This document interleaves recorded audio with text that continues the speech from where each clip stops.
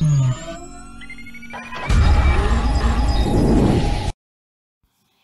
Kỳ Duyên khoe bàn chơi mới nhưng lại giấu mặt, cư dân mạng và đồng nghiệp gửi lời chúc mừng để MC Kỳ Duyên Hiko tìm được một nửa mới. Cuối năm 2023, mạng xã hội đổ lên tin đồn MC Kỳ Duyên đã chia tay bạn trai trần nhân sau hơn một thập kỷ gắn bó.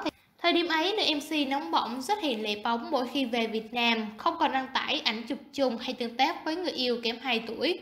Dù khi đó từ chối nói về chuyện tình cảm, nhưng việc vợ cũ bằng Kiều liên tục gửi lời nhắn nhủ Kỳ Duyên hãy sớm có bạn trai khiến cư dân mạng có cơ sở tin rằng cuộc tình này đã toàn. Sau này, nữ MC hải ngoài cũng ít nhiều chia sẻ về chuyện tình cảm riêng tư. Cho đến mới đây, cô bất ngờ đăng tải bức ảnh. Đứng trước biển, tay nắm chặt một người đàn ông, Kỳ Duyên mòn lời ca khúc Ngày đó chúng mình. Để chú thích cho loạt hành hắc tình tứ, MC U60 viết Ngày đó có em đi nhẹ vào đời và mang theo trăng sao đến với lời thơ núi Ngày đó có anh mơ lại mộng ngời, và xe tờ kết tóc xăm em vào lòng thôi.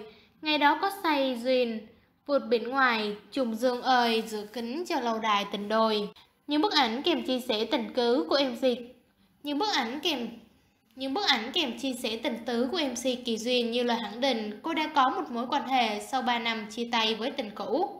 Như bạn bè thân thiết, đồng nghiệp khán giả đã gửi lời chúc mừng đến MC nổi tiếng, trong đó có cả bà trùng trung tâm tiếng Nga. Với lời chúc này, nữ MC trả lời mong được bền lâu như anh chị thôi. Trong quá khứ trước khi yêu, bạn trai dần dần, MC Kỳ Duyên từng trải qua hai cuộc hôn nhân nhưng đi đến tan vỡ. Sau đó cô quyết định làm mẹ đơn thân nuôi hai con gái suốt nhiều năm. Hiện tại hai con của Kỳ Duyên là Mali và đã 25 tuổi, Zenly 22. Đều có cuộc sống tự lập. Trong khi Miley nhiều lần được mẹ công khai hình ảnh và hiện tại đang sống tại Hàn Quốc thì con rể út Jelly của cô kính tín hơn hẳn. trước một lần chia sẻ gần đây với đạo diễn Lê Hoàng về quan điểm cách yêu của phụ nữ xưa và nay, MC Kỳ Duyên thẳng thắn đưa ra góc nhìn và thói quen hẹn hò đối với tôi. Dù là ở Mỹ, tôi thấy cuối cùng là tôi vẫn thấy tôi chỉ yêu được đàn ông Việt Nam. Tôi không hiểu tại sao tôi chỉ yêu được đàn ông Việt Nam. Khi bàn về vấn đề có nên yêu trai trẻ, Kỳ Duyên cho biết không thể nào một người hai mươi mấy tuổi có đủ tri thức, kinh nghiệm để tôi nể.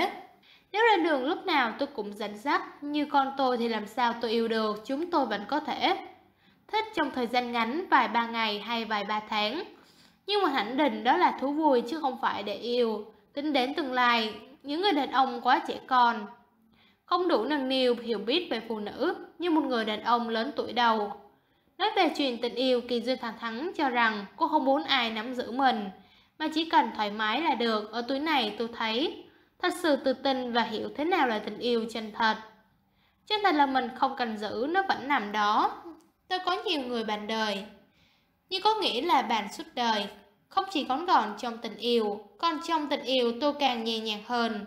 Tôi không nắm giữ ai và cũng không muốn ai nắm giữ mình. Nữ MC chia sẻ. Khi nhắc về chuyện tình cũ gần 10 năm với bạn trai dần nhân, Kỳ Duyên từng cho biết cả hai đã kết thúc nhưng vẫn giữ liên lạc, xem nhau như chi kỷ theo cô. Cái hay nhất trong mối quan hệ này là trong 10 năm không ai giữ chân ai cả, ai cũng cho đối phương quyền tự do, không ràng buộc nhau vì thế, cả hai từng nói. Vui mà rất thật lòng với nhau rằng, giả sử anh có đi gặp ai khác, mà cảm thấy có tình cảm thì cứ việc đi chơi và cô cũng vậy.